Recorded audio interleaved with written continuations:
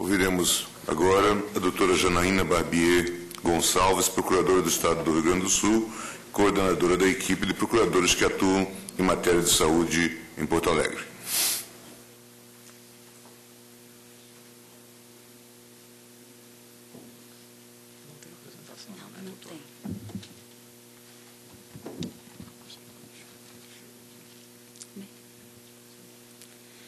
Excelentíssimo presidente do Supremo Tribunal Federal, ministro Gilmar Mendes, na pessoa de quem cumprimento as demais autoridades aqui presentes. Senhoras e senhores, a Constituição Federal de 1988, em seu artigo 196, estabeleceu a saúde como direito de todos os brasileiros e responsabilidade da União, dos estados e dos municípios. A jurisprudência brasileira, por seu turno, vem entendendo que este é um direito ilimitado que implica na obrigação do poder público de fornecer todo e qualquer medicamento. Entretanto, a referida disposição constitucional limita a sua abrangência ao dispor que a saúde é direito de todos e dever do Estado, devendo ser garantido mediante políticas sociais e econômicas que visem a redução do risco de doença e ao acesso universal e igualitário às ações e serviços para a sua promoção, proteção e recuperação.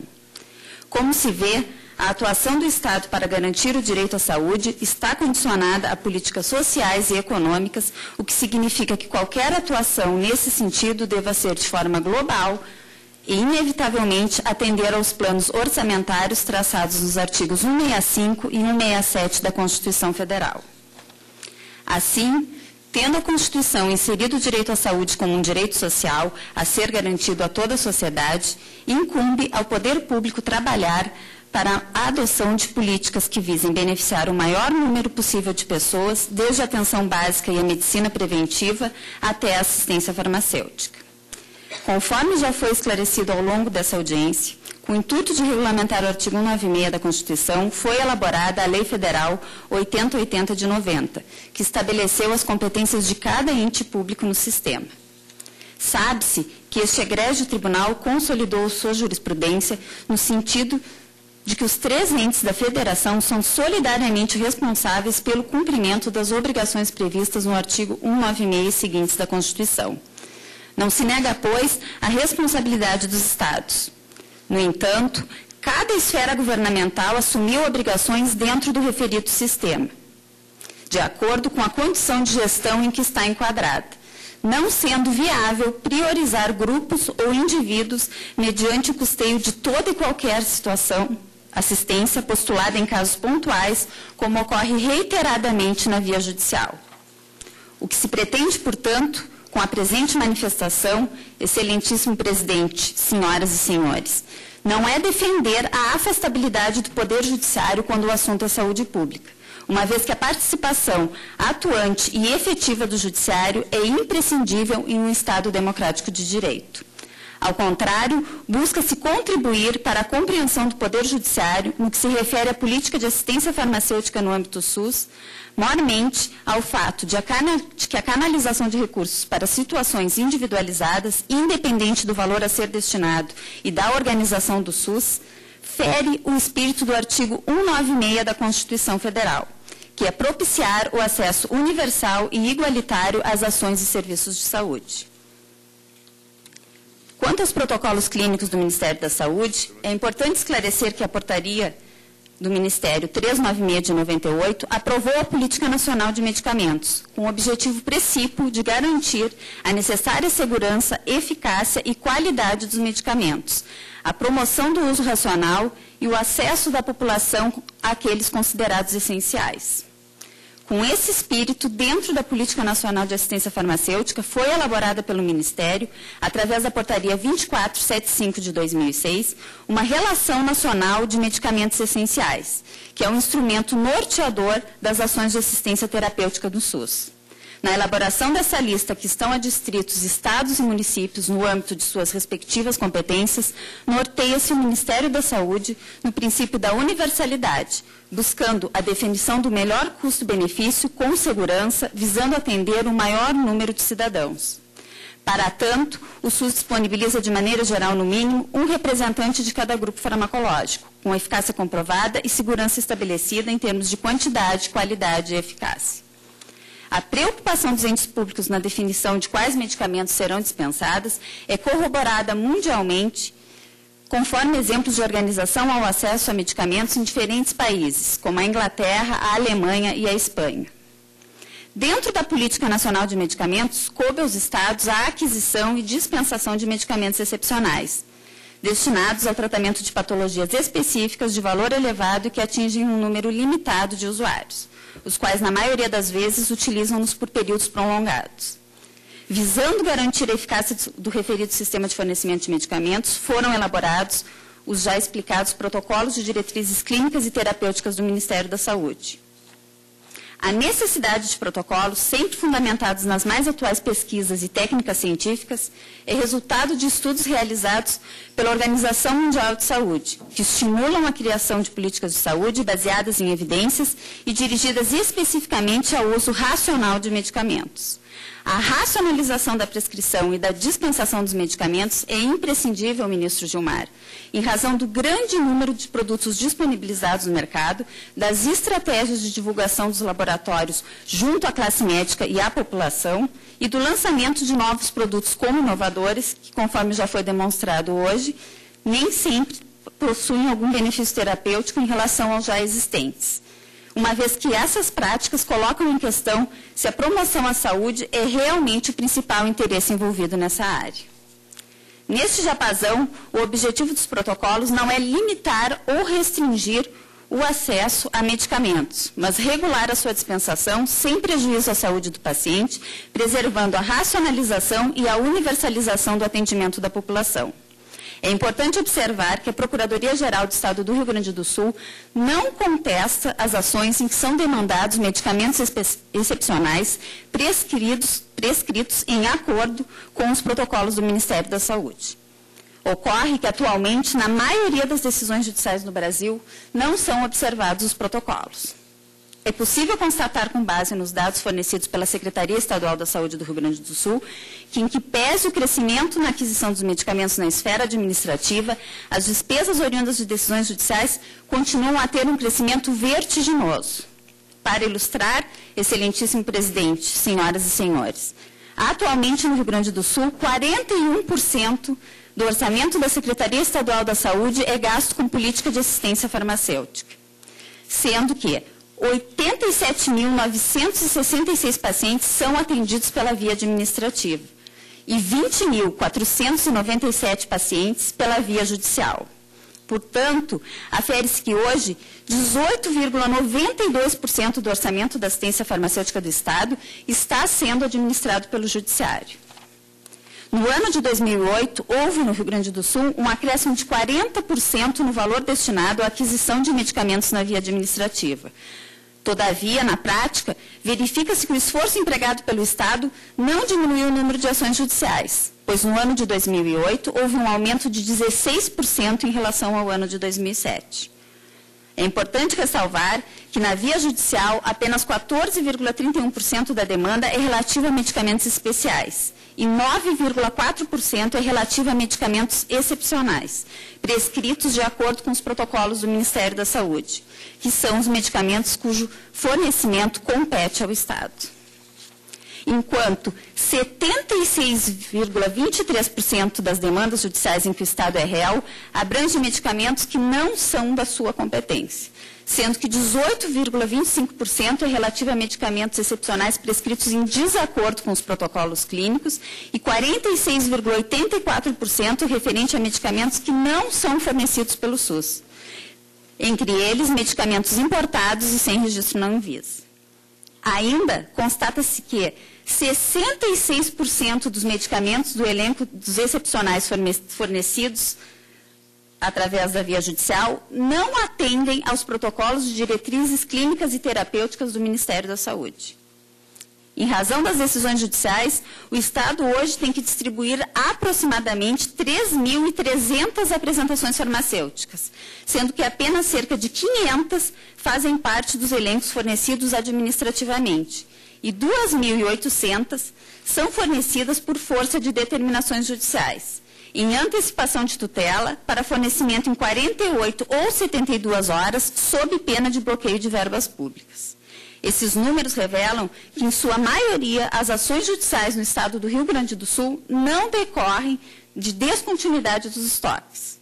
Por outro lado, também revelam que os protocolos existentes precisam ser revisados com maior frequência pelo Ministério da Saúde, o que não vem ocorrendo. Considerando que o Caixa, para atendimento de demandas administrativas e judiciais, é único, a intervenção judicial na área da saúde é hoje um dos óbices para que o Estado consiga atender regularmente a sua demanda administrativa. Até mesmo porque o gestor é obrigado a respeitar a destinação de recursos definida na lei orçamentária, sob pena de improbidade administrativa. Assim, as decisões judiciais que contrariam os protocolos vão de encontro à racionalização e à organização do sistema, e, em consequência, ao próprio direito à saúde sendo elementar que o Poder Judiciário legitime os protocolos clínicos do Ministério da Saúde, dando credibilidade a esses documentos médicos.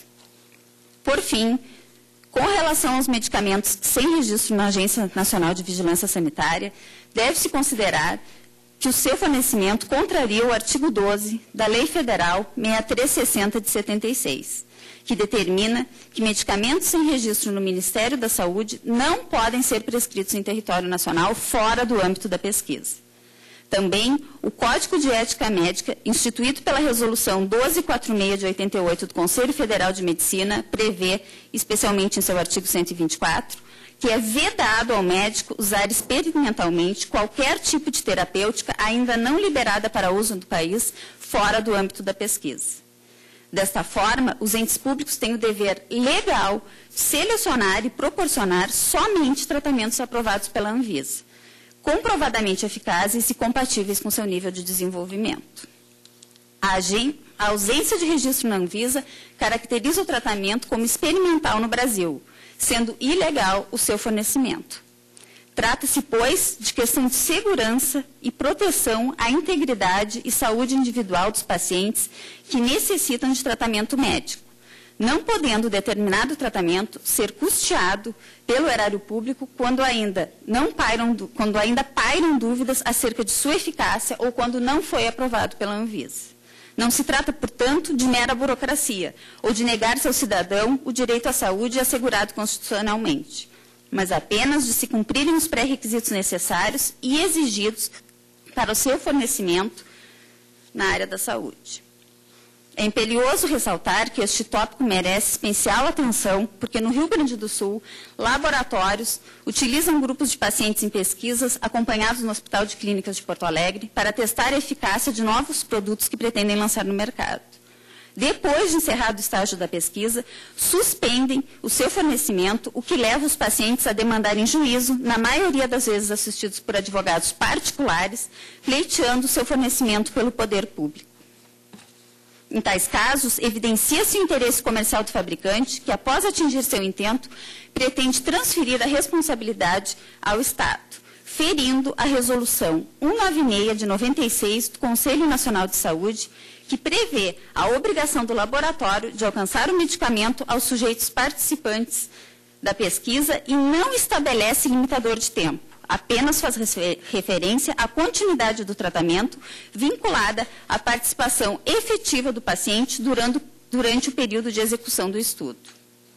Nesses casos, a Procuradoria-Geral do Estado vem pleiteando a inclusão do laboratório no polo passivo da ação, havendo precedentes favoráveis da 4 e da 8 Câmara Civis do Tribunal de Justiça do Rio Grande do Sul, e havendo também a sentença que foi mencionada pelo representante da ONG, de um juiz da, do Juizado da Infância e Juventude para o tratamento do, da mucopolissacaridose numa criança, em que o magistrado seguiu toda essa linha de orientação da resolução 96/96, da obrigação do laboratório de continuar fornecendo medicamento e assim condenou o laboratório a ressarcir o Estado pelo valor que o Estado já havia gasto ao longo do processo judicial por força da antecipação de tutela e a continuar mantendo o tratamento. Em face do exposto, excelentíssimo presidente, a Procuradoria-Geral do Estado do Rio Grande do Sul apresenta duas proposições. Primeiro, que, observadas as competências e pactuações estabelecidas no SUS, o acesso aos medicamentos na via judicial, como regra, se dê somente quando regularmente registrados na Anvisa, nos termos do registro e em conformidade com as indicações dos protocolos de diretrizes clínicas e terapêuticas do Ministério da Saúde. Segundo, que o deferimento de medicamentos fora da lista do SUS ou sem registro na Anvisa, se houver, não constitua a regra, mas sempre uma exceção. Nunca em sede de antecipação de tutela, mas somente em sentença após a ampla dilação probatória. Muito obrigado. Falará agora a doutora Sueli Gandolfi Dalari, pelo Centro de Estudos e Pesquisa de Direito Sanitário.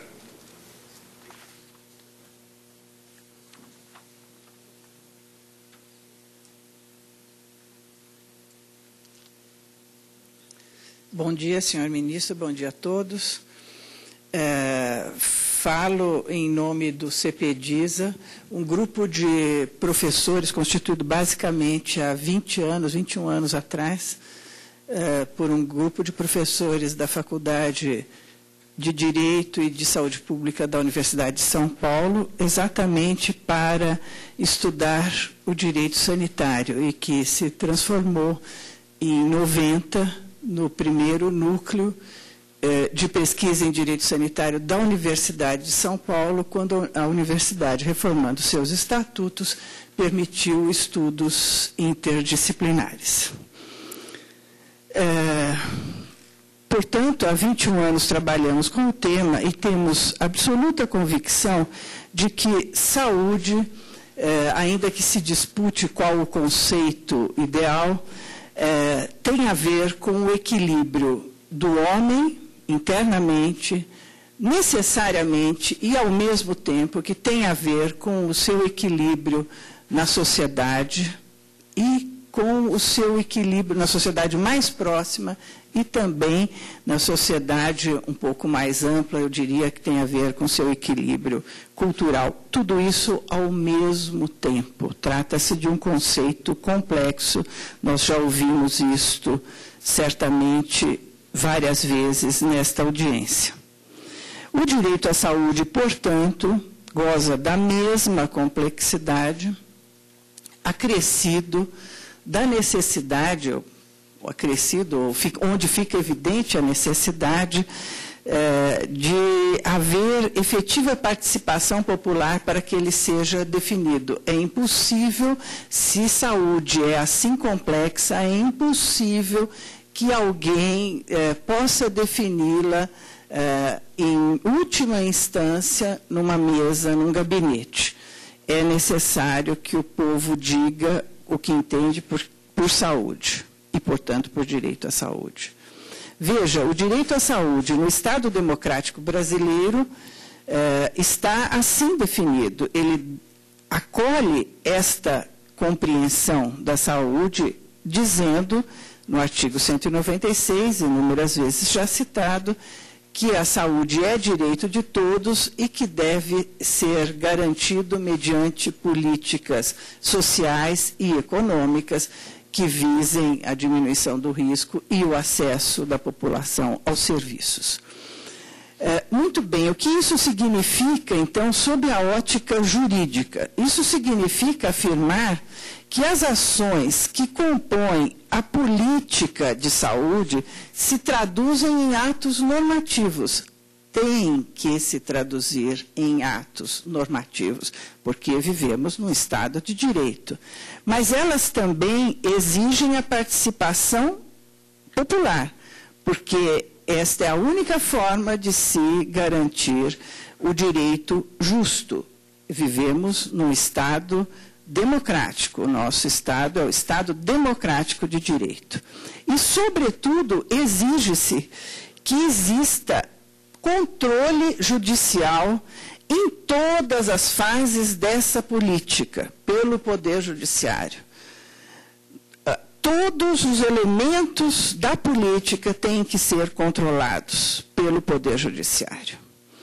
O direito ao medicamento é parte do direito à saúde, uma parte pequena, certamente, se saúde é um, um conceito assim amplo, é, mas é igualmente complexo. E isto é importante que se note. Ao mesmo tempo em que o direito à saúde, como todo direito à saúde, o direito ao medicamento tem aspectos de direito individual que privilegiam a liberdade, por exemplo, a prescrição médica, ele tem, ao mesmo tempo, aspectos que privilegiam o social, que privilegiam o direito à igualdade. Foi lembrado aqui, a, a Anvisa falou nesta audiência, que tem a obrigação de proteger as, igualmente a saúde de todas as pessoas, assegurando segurança dos medicamentos para todas as pessoas. No caso, eh, em exame, com algumas obrigações que nos parece bastante razoáveis, por exemplo, vincular o registro à obrigação de comercializar, coisa que eh, faz a agência, por exemplo, a Agência Europeia de Medicamentos, e nós ainda não fazemos. Poderia se, de, eh, se deveria, acreditamos no, no Centro de Estudos, reforçar a exigência de anuência prévia isso deveria ser um argumento importante prevista no artigo 229C da Lei 9.279 de 96, sobre as patentes, tornando mais sólida a proteção do interesse social na concessão de patentes de medicamentos. Mas este mesmo direito ao medicamento gozando da mesma complexidade do direito à saúde, tem aspectos ligados ao ambiente econômico e cultural que, diria, eh, invocam mais especialmente o direito à fraternidade. E isso fica claro, por exemplo, na discussão que se deve fazer e que interessa ao direito à saúde, no caso concreto, ao direito dos medicamentos, a discussão sobre as condições de patenteabilidade dos medicamentos que acontece na Organização Mundial do Comércio, assim como o controle ético das pesquisas clínicas de medicamentos. Em resumo, no caso em exame, o que nós queremos é aumentar a participação do judiciário na garantia do direito à saúde. Mas o que nós não queremos é transformar o juiz em médico ou gestor público. Nós queremos que ele seja um operador do direito do século XXI. Que ele verifique, portanto, a adequação de cada ato normativo que compõe a política de saúde à Constituição e às leis, como acaba de ser lembrado aqui pela colega que me antecedeu. É necessário que nos protocolos clínicos nos, e nas diretrizes farmacêuticas se ele verifique, verifique a existência desses protocolos, sua adequada atualização periódica, por exemplo, é, que, mas que é necessário e indispensável que ele verifique particularmente a existência do verdadeiro controle da política popular em cada fase da participação popular em cada fase desta política. Por exemplo, que nos protocolos uh, não haja apenas para sua implementação a participação de associação de portadores da doença, mas que, como faz a ANEEL, por exemplo, então não estamos pretendendo nada muito complicado, as, nas consultas públicas se divulgue as contribuições recebidas e as justificativas para aceitação ou rejeição destas uh, proposições. Uh, em resumo, é necessário que o Poder Judiciário faça, atue decisivamente e faça aquilo que uh, fez, peço licença para lembrar isso, fez brilhantemente no nosso entender o ministro Gilmar Mendes numa decisão de dezembro do ano passado, de dezembro de 2008, analisando passo a passo a legalidade da política, de todas elas que já foram lembradas aqui, de todas as fases desta política, e concluindo aí, segundo a sua convicção, que é o que deve ser preservado, que nós queremos que seja preservado, é, a independência do juiz para decidir conforme a sua convicção. E que ele decida conforme a sua convicção pessoal, baseado nos princípios que ele aprendeu e que ele deve dominar: legalidade e justiça. É legal ou é ilegal? É justo ou é injusto? Esta é a função do judiciário que nós queremos manter na uh, defesa do direito à saúde. E queremos que ele remeta, então, de ofício, as, uh, sempre que ele encontrar políticas públicas inadequadas nesse exame, que ele as remeta imediatamente ao legislador ou ao administrador público, conforme for a hipótese. Por quê? Porque assim ele estará cumprindo a Constituição, que diz que o direito à saúde deve ser assegurado mediante políticas econômicas e sociais. Era essa a nossa mensagem. Obrigada. Com a palavra agora o Procurador-Geral de Justiça do Distrito Federal e Territórios e presidente do Conselho Nacional dos Procuradores-Gerais dos Ministérios Públicos dos Estados e da União. Doutor Leonardo Azeredo Bandar. Senhor presidente Gilmar Mendes, cumprimento pela iniciativa da audiência pública e agradeço a oportunidade de manifestação. O Conselho Nacional dos Procuradores Gerais do Ministério Público dos Estados e da União, em agosto de 98, instituiu pela primeira vez uma política institucional de atuação em tema de saúde pública, constituindo no seu âmbito a Comissão Permanente de Defesa da Saúde, a COPEDS.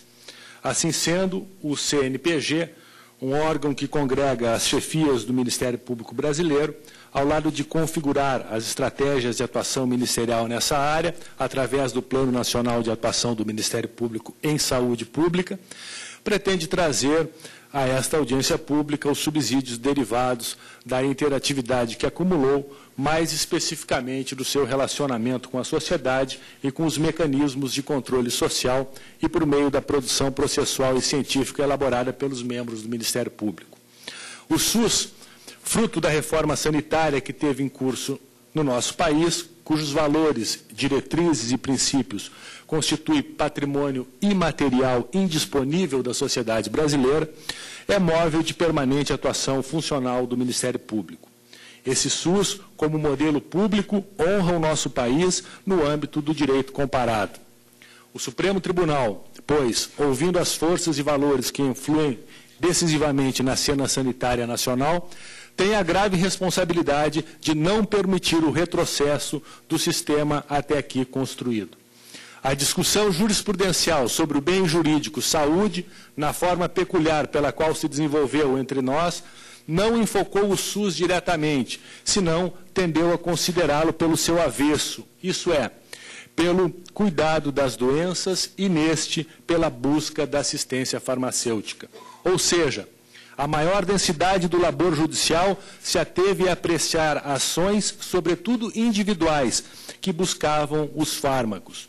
Nesse perímetro estrito é que se apresentam a debate a universalidade, a integralidade de atenção, a igualdade e seu subproduto conceitual, a equidade, e a resolutividade, estei os mestres do Sistema Único de Saúde é de baixíssima intensidade estatística o volume das decisões voltadas para políticas sociais e econômicas que visem a redução do risco de doenças ou outros agravos de formas coletivas, bem como aqueles que afetam o mainstream da gestão e do financiamento públicos da saúde.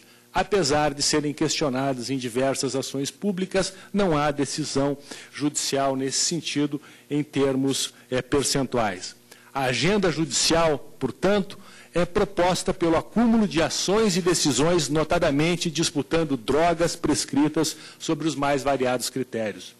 O impacto que as ordens dos magistrados ocasionam nos orçamentos municipais, estaduais e federal, em muitas ocasiões provocando, alega-se, eventual insuficiência de recursos para os atos da administração voltados à execução de programas de saúde de grande abrangência, é o argumento recorrente na defesa dos gestores públicos. Entretanto, também é verdade que a decantada insuficiência de recursos, não raro, esteve associada ao descumprimento massivo de investimentos mínimos pelos entes federativos, notadamente no que diz respeito à emenda constitucional 29. E diga-se que aproximadamente dois terços dos estados ainda não respeitam esses, essas determinações da emenda constitucional bem como a precarização de planos de saúde e sua execução, não raro completamente afastado das orientações provindas dos conselhos e conferências de saúde. Por outro lado, dificilmente se observa como seria de rigor a demonstração do impacto das ordens judiciais concessivas de insumos em face do orçamento do ente federativo reclamante. Vêm isoladas. É razoável admitir, porém, que a combinação de todas essas situações, sem exclusão ainda de outros fenômenos convergentes, possa explicar o déficit de custeio para a oferta de fármacos e demais terapias na rede pública. A situação se torna mais aguda quando se trata de drogas experimentais, sem previsão em protocolos do SUS ou registros da Anvisa, as quais noticia-se o poder público é compelido a adquirir por ordens judiciais. Qual a lógica, porém, autorizaria a concessão do custeio? Que critérios estabelecer para permitir o seu uso, sem maltratar a sistemática legal de proteção à saúde do indivíduo e, ao mesmo tempo, não coibir a sua legítima aspiração de tratamento em hipóteses e limites que escapam os esquemas terapêuticos é, convencionais. Não há dúvida que o acertamento que poderá essa Corte produzir a respeito por certo, influenciará fortemente em face das políticas públicas, que ora estão sendo executadas e nas que, embora existentes, não estão sendo executadas. Sobre a matéria dessa audiência pública, sabe-se, corre paralela a copiosa agenda política, na qual, como exemplo, o projeto de lei 219 e 207, enviado ao Senado, pode ser citado como um de seus elementos contemporâneos mais emblemáticos. Na sua justificativa desse projeto de lei, está referido que a garantia do acesso universal e igualitário às ações e serviços de saúde é tão importante quanto o atendimento integral. Essa garantia só será possível se os parcos recursos destinados à saúde forem criteriosamente aplicados. Esses recursos não se multiplicam milagrosamente, segue a justificativa. Se uma grande parte deles for gastas na assistência a umas poucas pessoas, certamente uma grande parcela da população sofrerá pela falta de medicamentos destinados ao tratamento de doenças como tuberculose, rancenias, malária, quissossomose, dengue, AIDS, diabetes, etc perpassa o projeto uma clara noção de que se impõe uma opção de destinatários preferenciais da assistência farmacêutica do SUS, aparentemente se elegendo aqueles que, vitimados por doenças negligenciadas, que afetam a, por, a porção mais pobre da população. Talvez haja um bondoso exercício de suposta equidade nessa iniciativa, pois ao, ao longo prazo, as evidências demonstram que políticas de saúde para pobres tendem a se constituir em políticas pobres, como ensinou no século passado Lord Belvedere na Inglaterra. Para alguns, por outros lados, seria o mesmo possível questionar a razoabilidade ética e jurídica de custear-se com fundos públicos certas medicações de custos elevados e uso restrito a poucos indivíduos, inclusive as de caráter experimental, ou imprevistas nos protocolos do SUS ou sem registro na Anvisa, mesmo que com o risco de desabastecerem serviços destinados a grupos populacionais importantes e hipossuficientes em saúde. A doutrina, em algumas oportunidades, alude mesmo a escolhas trágicas que devem ser feitas pelo administrador. Não obstante, devemos exercer a humana lida de conciliar valores, não de suprimi-los. Palmilhar a difícil vereda se liga que liga o SUS da plenitude constitucional à vida real dos cidadãos, seus conflitos e suas contradições. O esgotamento de fontes de custeio parece estar induzindo a soluções seletivas, reduzindo a extensão do próprio conceito de universalidade e integralidade. É corrente e crescente, em parte da literatura, a preocupação com os custos dos direitos prestacionais. Vale aqui lembrar, todavia, que a Lei Orgânica da Saúde não estabeleceu tal hegemonia para o valor financiamento, em confronto com o planejamento que lhe deve ser anterior.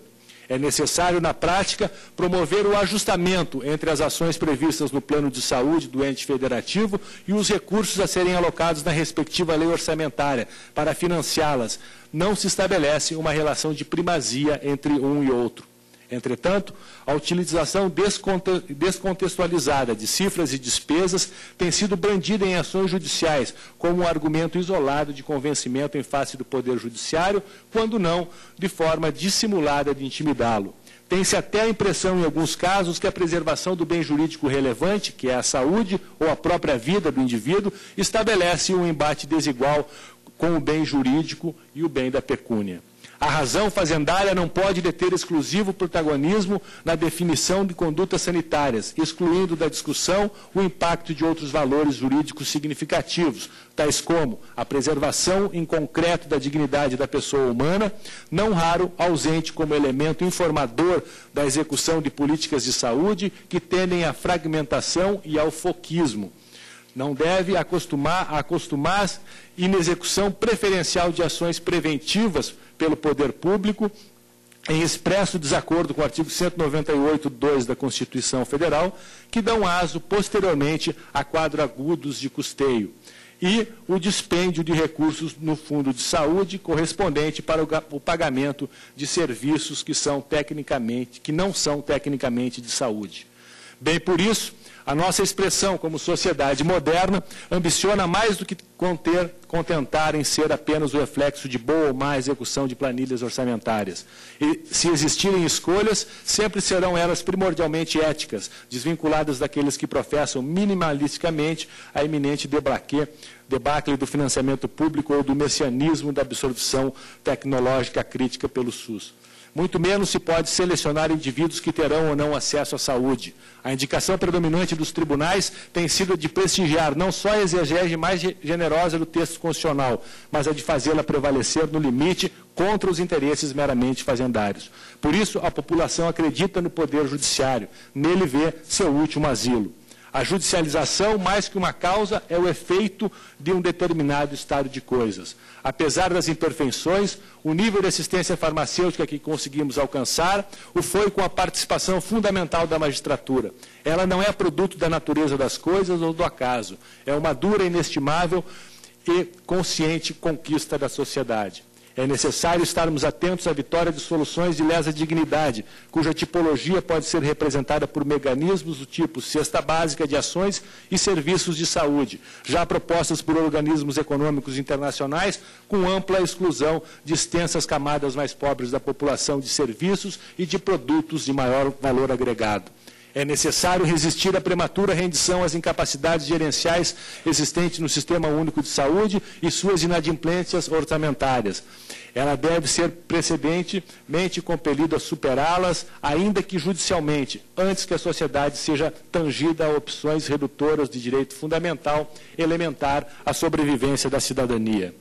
A obrigação do Estado em disponibilizar medicamentos ou tratamentos experimentais não registrados na Anvisa ou não aconselhados pelos protocolos clínicos do SUS, proposta para essa fase da audiência pública, está vinculada à identificação dos limites superiores da integralidade do Sistema Único de Saúde. Isso é, até que ponto podem ser expansíveis as prestações públicas em saúde, observados critérios vigentes às diretrizes legais em vigor.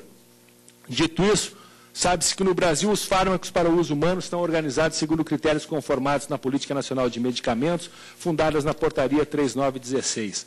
Assim sendo, toda assistência farmacêutica prestada no SUS também está submetida à Política Nacional de Medicamentos, que se volta à garantia da necessidade da segurança, eficácia e qualidade dos fármacos, a promoção do uso racional e ao acesso da população àqueles considerados essenciais. Não há nenhuma dúvida, pois, do ponto de vista lógico ou jurídico, que os postulados da universalidade, da igualdade, da equidade da integralidade em tema de medicamentos, inclusive os experimentais, podem e devem conviver com as regras legais, que impõem condutas racionalizadoras aos, aos agentes públicos e aos cidadãos utentes, inclusive para possibilitar o planejamento e a organização do aparato sanitário estatal. eleição, aquisição, distribuição e dispensação. A delimitação de critérios atendíveis eticamente de oferta não significa necessariamente a negação da diretriz da integralidade. É defensável, em princípio, tal forma de tutela e controle. Constitui um dos meios de viabilizar o próprio SUS, não otorgando topicamente benefícios incompatíveis com a sua distribuição a todos os pacientes ou autorizando drogas que, muitas vezes, não detêm autorização legal para serem oferecidas no nosso país ou não possuem livre uso em seu local de produção.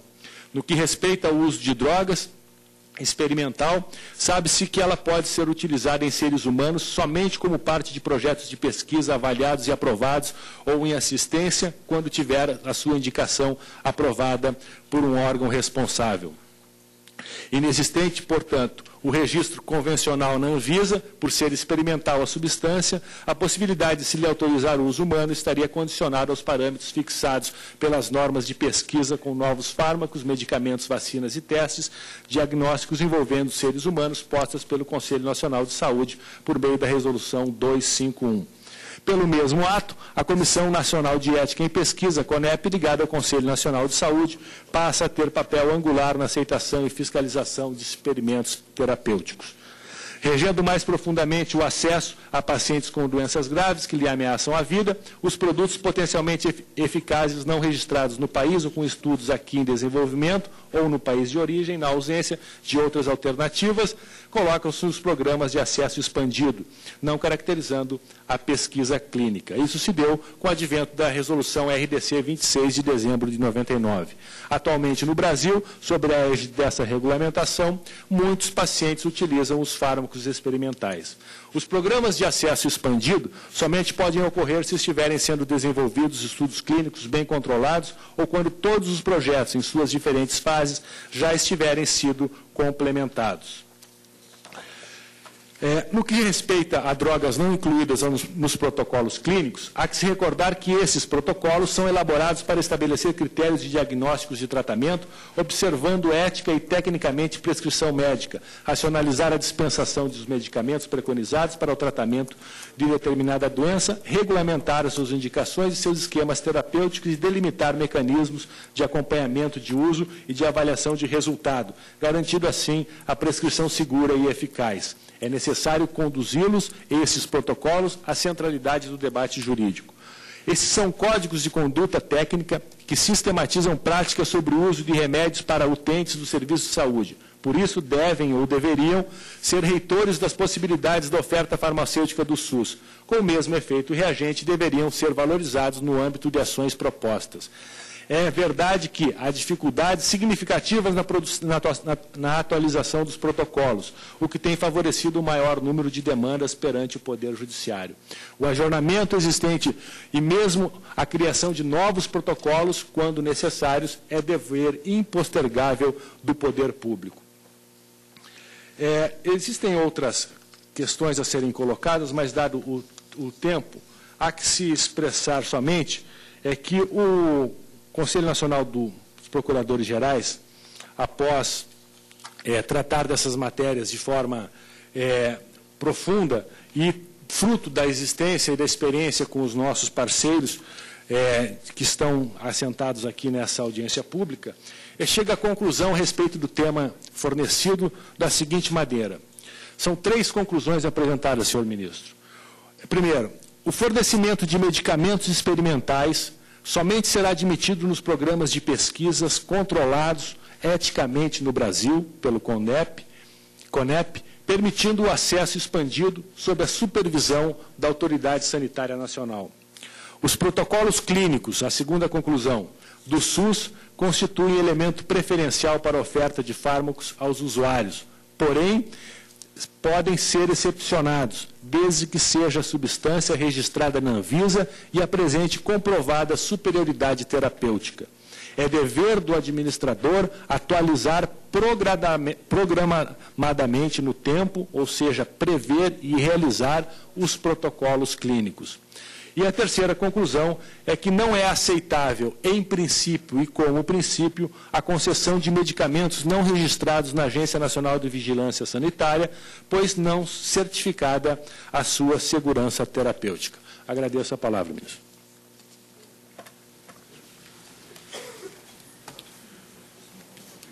Obrigado, doutor Leonardo Bandeira. Ao encerrar esta quarta sessão da audiência pública, gostaria de ressaltar a relevância de todas as intervenções orais proferidas e reafirmar a importância do papel do Poder Judiciário na defesa e efetivação do direito à saúde. Tivemos oportunidade de ouvir com atenção as preocupações dos técnicos e dos usuários do Sistema Único de Saúde ante o rápido desenvolvimento da ciência e a necessidade de comprovação da eficiência e da qualidade dos novos tratamentos. Devemos salientar a importância da audiência dos usuários, que melhor do que ninguém conhece as dificuldades enfrentadas pelos pacientes, a angústia de esperar pela cura e a luta para vencer os obstáculos financeiros impostos pelas novas tecnologias. É claro que os problemas concretos devem ser apreciados de forma individualizada pelos magistrados, levando-se em consideração todas as perspectivas e os dados técnicos e científicos que envolvem as questões de saúde. Lembro a todos os interessados que a próxima sessão desta audiência pública será realizada no dia 6 de maio, quarta-feira. Declaro encerrada a quarta sessão desta audiência pública.